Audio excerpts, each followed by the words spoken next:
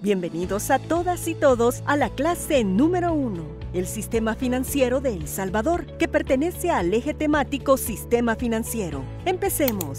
¿Cómo funciona? El sistema financiero salvadoreño está conformado por diversas instituciones financieras, reguladas y no reguladas. Provee intermediarios eficientes entre el ahorro y la inversión de una economía, contribuyendo a dinamismo y desarrollo de los sectores productivos. ¿Cuál es su importancia?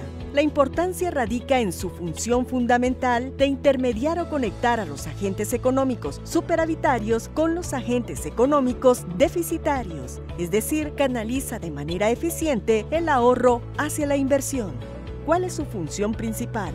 Recibir el ahorro de las personas y empresas, protegerlo y canalizarlo a través del otorgamiento de préstamos de dinero, créditos a negocios y hogares para la realización de sus proyectos de inversión y consumo. El Banco Central de Reserva, BCR, y la Superintendencia del Sistema Financiero, SSF, son los responsables directos de velar porque el sistema financiero salvadoreño se desarrolle sanamente.